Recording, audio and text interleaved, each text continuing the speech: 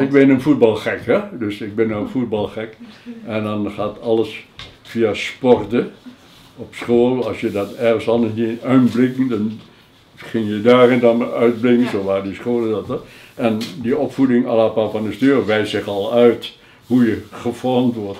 Werken, dingen, allemaal. Sporten, eensgezindheid en noem maar op. Dat elementen, dat je als een brave burger in de maatschappij terechtkomt. hè. Daar waren we klaar voor gestroomd.